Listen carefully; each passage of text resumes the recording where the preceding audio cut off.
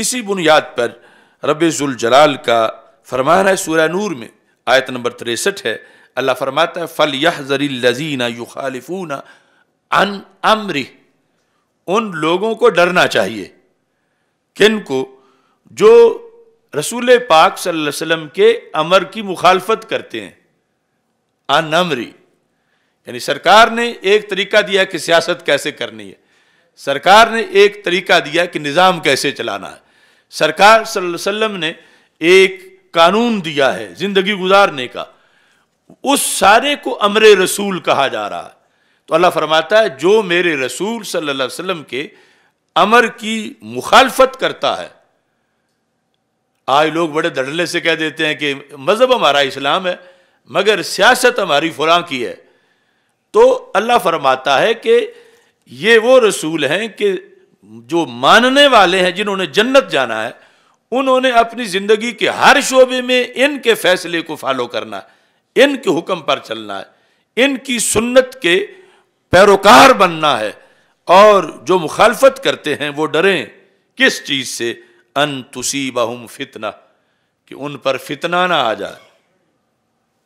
ओ युसीबहुम आज़ाबन अलीम, या उन पर दर्दनाक अजाब ना आ जाए। उन्हें डरना चाहिए।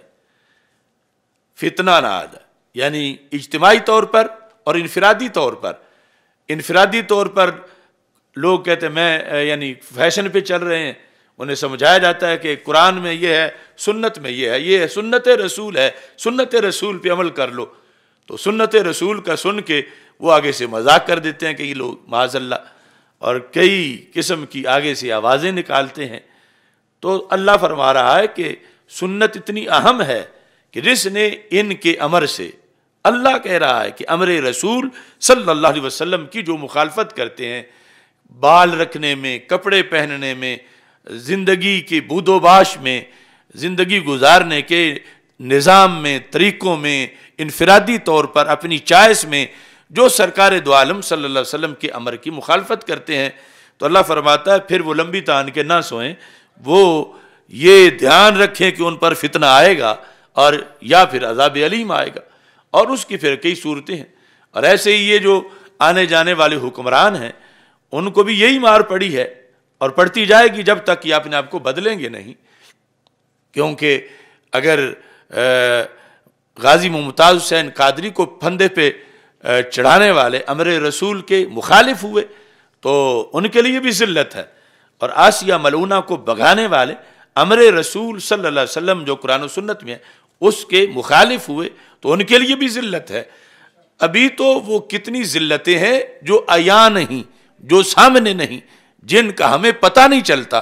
तो बहरहाल, इस सुन्नत के मौजू में ये जाम तौर पर अभी सिर्फ़ आयात की रोशनी में हम बता रहे हैं कि रसूल अक्रम नूर मुजस्म शफ़ी मुज़म अलैहि वसल्लम की सुन्नत की क्या फजीलत है? यानी ये सबसे बड़ी फजीलत मेरे नज़दीक, वो ये है कि उसको हमारे लिए दीन बनाया गया, हमारे लिए निज़ाम ज़िंदगी बनाया गया, निज़ाम बंदगी बनाया गया, और फिर उसकी बुनियाद पर आखिरत में सफारिश होने वाली है कि ये बंदा सुन्नत पर अमल करता था, लिहाजा ये जन्नत का मुस्तक है, और ये सुन्नत को छोड़ता था, इसे जहन्नम भेजा जाए या अगर मज़ाक उड़ाता था तो फिर वो कुफर कर रहा था।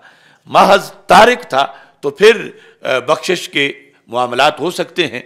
तो इस बुनियाद पर यहाँ फ़ज़ाइल सुन्नत के मौजू को देखना चाहिए।